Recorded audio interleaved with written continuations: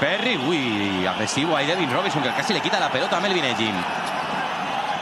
Perry, Kalinowski, Kalinowski de tres. Más ¡Vaya uno. triplazo!